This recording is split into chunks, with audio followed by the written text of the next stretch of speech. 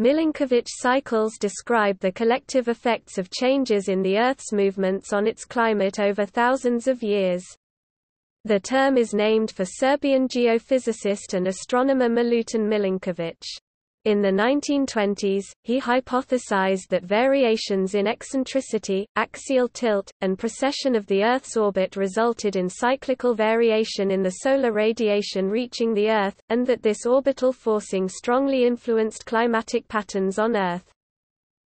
Similar astronomical hypotheses had been advanced in the 19th century by Joseph Adhemar, James Croll and others, but verification was difficult because there was no reliably dated evidence, and because it was unclear which periods were important. Now, materials on Earth that have been unchanged for millennia obtained via ice, rock, and deep ocean cores are being studied to indicate the history of Earth's climate. Though they are consistent with the Milankovitch hypothesis, there are still several observations that the hypothesis does not explain.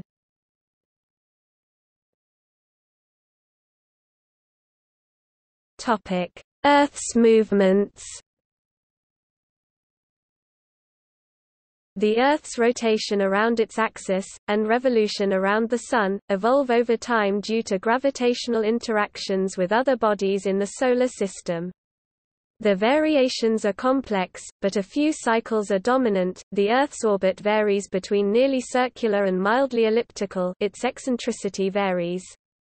When the orbit is more elongated, there is more variation in the distance between the Earth and the Sun, and in the amount of solar radiation, at different times in the year. In addition, the rotational tilt of the Earth its obliquity changes slightly. A greater tilt makes the seasons more extreme. Finally, the direction in the fixed stars pointed to by the Earth's axis changes axial precession, while the Earth's elliptical orbit around the Sun rotates apsidal precession. The combined effect is that proximity to the Sun occurs during different astronomical seasons. Milankovitch studied changes in these movements of the Earth, which alter the amount and location of solar radiation reaching the Earth. This is known as solar forcing an example of radiative forcing. Milankovitch emphasized the changes experienced at 65 degrees north due to the great amount of land at that latitude. Land masses change temperature more quickly than oceans, because of the mixing of surface and deep water and the fact that soil has a lower volumetric heat capacity than water.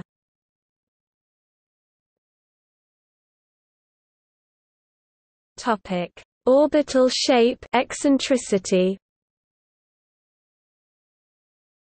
The Earth's orbit approximates an ellipse.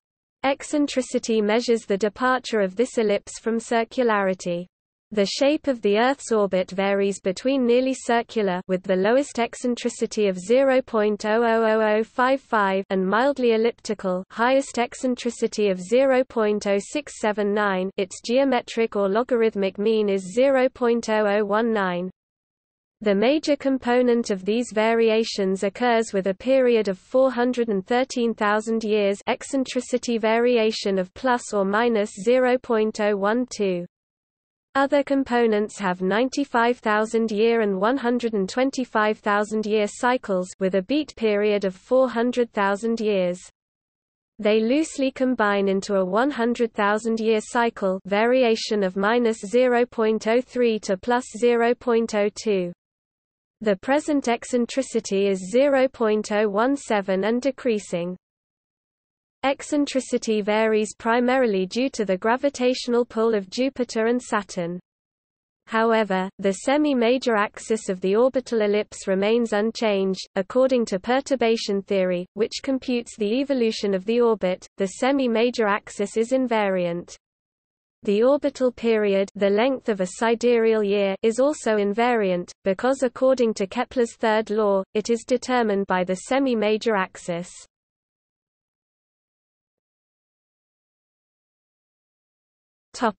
Effect on temperature The semi-major axis is a constant. Therefore, when Earth's orbit becomes more eccentric, the semi-minor axis shortens.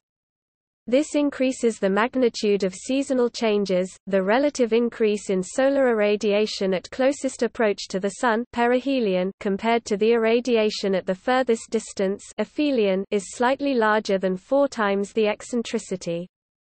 For Earth's current orbital eccentricity, incoming solar radiation varies by about 6.8%, while the distance from the Sun currently varies by only 3.4% 5.1 million kilometers. Perihelion presently occurs around January 3, while aphelion is around July 4. When the orbit is at its most eccentric, the amount of solar radiation at perihelion will be about 23% more than at aphelion. However, the Earth's eccentricity is always so small that the variation in solar irradiation is a minor factor in seasonal climate variation, compared to axial tilt and even compared to the relative ease of heating the larger land masses of the Northern Hemisphere.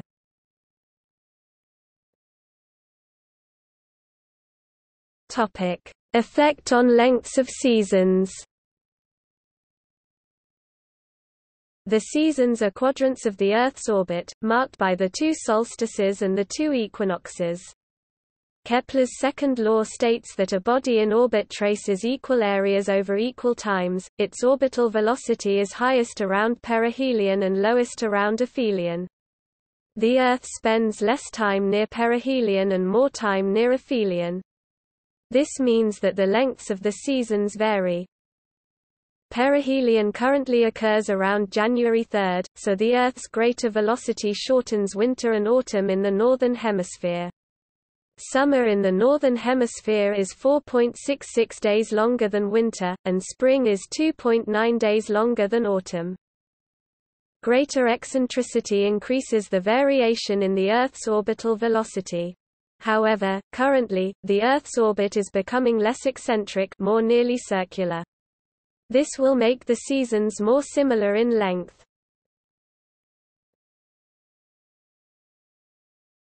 Topic: Axial tilt, obliquity. The angle of the Earth's axial tilt with respect to the orbital plane the obliquity of the ecliptic varies between 22.1 degrees and 24.5 degrees, over a cycle of about 41,000 years. The current tilt is 23.44 degrees, roughly halfway between its extreme values. The tilt last reached its maximum in 8700 BCE.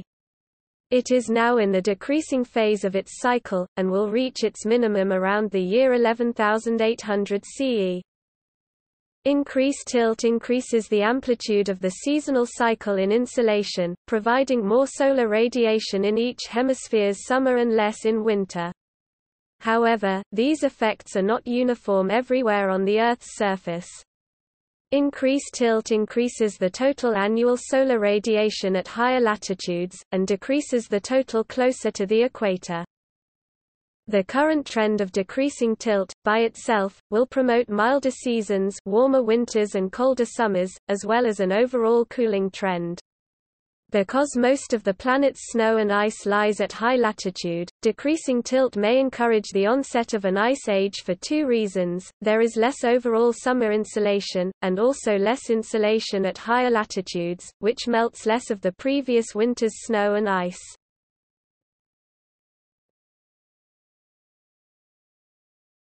Topic: Axial precession. Axial precession is the trend in the direction of the Earth's axis of rotation relative to the fixed stars, with a period of 25,771.5 years. This motion means that eventually Polaris will no longer be the North Pole star. It is caused by the tidal forces exerted by the Sun and the Moon on the solid Earth, both contribute roughly equally to this effect. Currently, perihelion occurs during the Southern Hemisphere's summer. This means that solar radiation due to 1 axial tilt inclining the southern hemisphere toward the Sun and 2 the Earth's proximity to the Sun, both reach maximum during the summer and both reach minimum during the winter. Their effects on heating are additive, which means that seasonal variation in irradiation of the southern hemisphere is more extreme. In the Northern Hemisphere, these two factors reach maximum at opposite times of the year, the North is tilted toward the Sun when the Earth is furthest from the Sun. The two effects work in opposite directions, resulting in less extreme variations in insolation. In about 13,000 years, the North Pole will be tilted toward the Sun when the Earth is at perihelion. Axial tilt and orbital eccentricity will both contribute their maximum increase in solar radiation during the Northern Hemisphere's summer. Axial precession will promote more extreme variation in irradiation of the Northern Hemisphere and less extreme variation in the South. When the Earth's axis is aligned such that aphelion and perihelion occur near the equinoxes, axial tilt will not be aligned with or against eccentricity.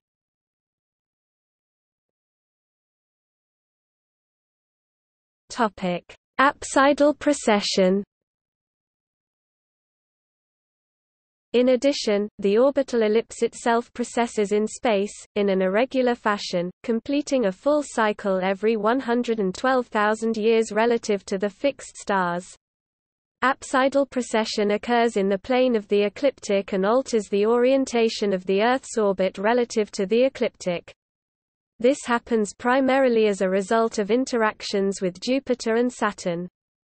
Smaller contributions are also made by the Sun's oblateness and by the effects of general relativity that are well known for Mercury. Apsidal precession combines with the 25,771.5-year cycle of axial precession see above to vary the position in the year that the Earth reaches perihelion.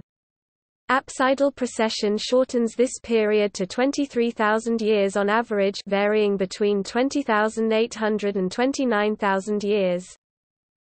As the orientation of Earth's orbit changes, each season will gradually start earlier in the year. Precession means the Earth's non-uniform motion see above will affect different seasons. Winter, for instance, will be in a different section of the orbit. When the Earth's apsides are aligned with the equinoxes, the length of spring and summer combined will equal that of autumn and winter. When they are aligned with the solstices, the difference in the length of these seasons will be greatest.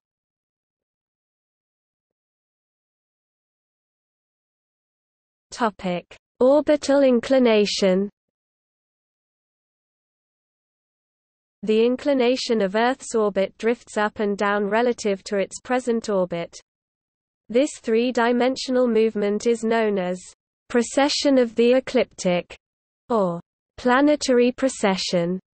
Earth's current inclination relative to the invariable plane the plane that represents the angular momentum of the Solar System, approximately the orbital plane of Jupiter is 1.57 degrees. Milankovitch did not study apsidal precession. It was discovered more recently and measured, relative to Earth's orbit, to have a period of about 70,000 years. However, when measured independently of Earth's orbit, but relative to the invariable plane, precession has a period of about 100,000 years. This period is very similar to the 100,000-year eccentricity period. Both periods closely match the 100,000-year pattern of glacial events.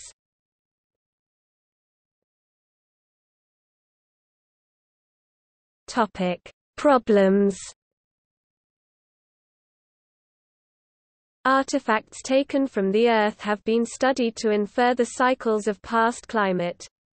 A study of the chronology of Antarctic ice cores using oxygen-nitrogen ratios in air bubbles trapped in the ice, which appear to respond directly to the local insolation, concluded that the climatic response documented in the ice cores was driven by Northern Hemisphere insolation as proposed by the Milankovitch hypothesis.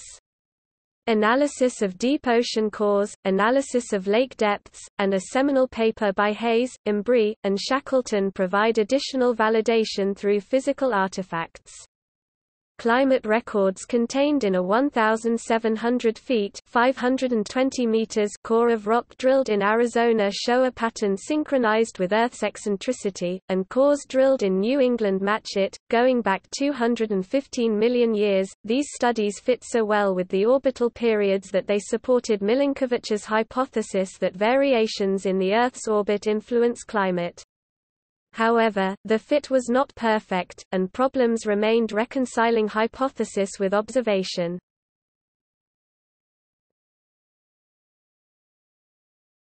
Topic: 100,000-year problem.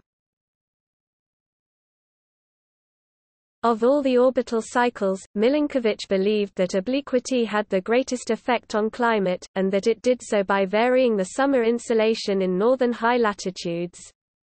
Therefore, he deduced a 41,000-year period for ice ages. However, subsequent research has shown that ice age cycles of the Quaternary glaciation over the last million years have been at a 100,000-year period, which matches the eccentricity cycle. Various explanations for this discrepancy have been proposed, including frequency modulation or various feedbacks from carbon dioxide, cosmic rays, or from ice sheet dynamics.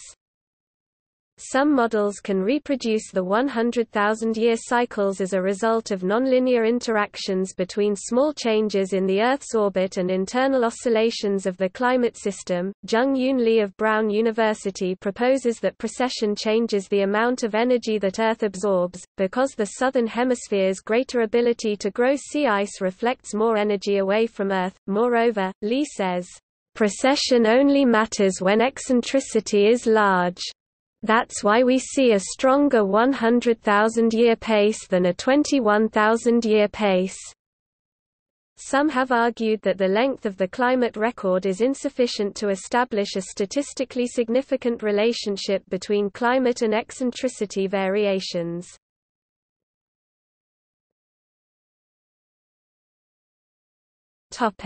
Transition problem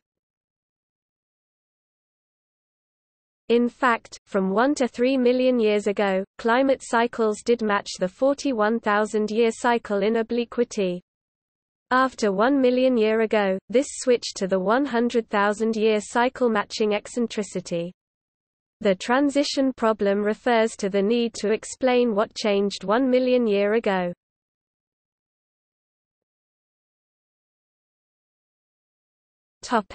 Unsplit peak problem. Even the well-dated climate records of the last million years do not exactly match the shape of the eccentricity curve. Eccentricity has component cycles of 95,000 and 125,000 years. However, some researchers say the records do not show these peaks, but only show a single cycle of 100,000 years.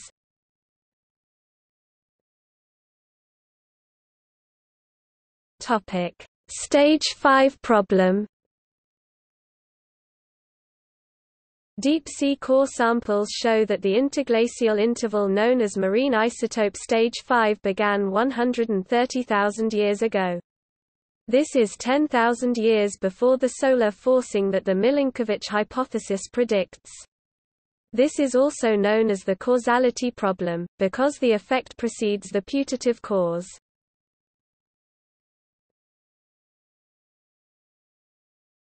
Topic: Effect exceeds cause. Artifacts show that the variation in Earth's climate is much more extreme than the variation in the intensity of solar radiation calculated as the Earth's orbit evolves. If orbital forcing causes climate change, science needs to explain why the observed effect is amplified compared to the theoretical effect. Some climate systems exhibit amplification positive feedback and damping responses negative feedback. An example of amplification would be if, with the land masses around 65 degrees north covered in year-round ice, solar energy were reflected away. Amplification would mean that an ice age induces changes that impede orbital forcing from ending the ice age. The Earth's current orbital inclination is 1.57 degrees see above. Earth presently moves through the invariable plane around January 9 and July 9. At these times, there is an increase in meteors and noctilucent clouds. If this is because there is a disk of dust and debris in the invariable plane, then when the Earth's orbital inclination is near 0 degrees and it is orbiting through this dust, materials could be accreted into the atmosphere. This process could explain the narrowness of the 100,000-year climate cycle.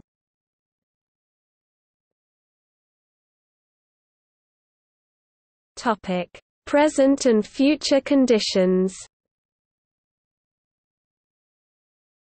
Since orbital variations are predictable, any model that relates orbital variations to climate can be run forward to predict future climate, with two caveats, the mechanism by which orbital forcing influences climate is not definitive, and non-orbital effects can be important for example, human impact on the environment principally increases in greenhouse gases result in a warmer climate.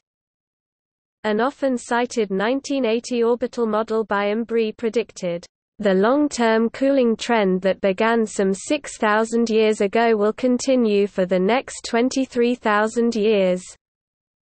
More recent work suggests that orbital variations should gradually increase 65 degrees north summer insolation over the next 25,000 years. Earth's orbit will become less eccentric for about the next 100,000 years, so changes in this insolation will be dominated by changes in obliquity, and should not decline enough to permit a new glacial period in the next 50,000 years.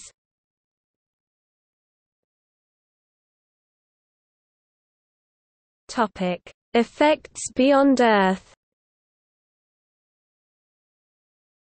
Other bodies in the Solar System undergo orbital fluctuations like the Milankovitch cycles. Any geological effects would not be as pronounced as climate change on the Earth, but might cause the movement of elements in the solid state.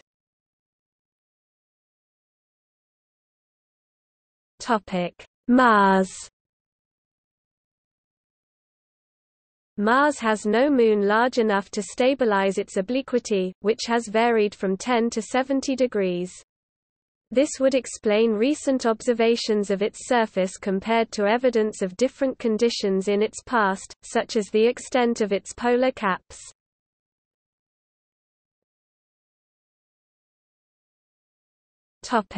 Outer planets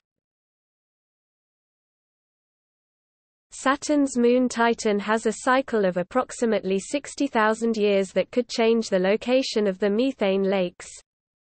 Neptune's moon Triton has a variation similar to Titan's, which could cause its solid nitrogen deposits to migrate over long time scales.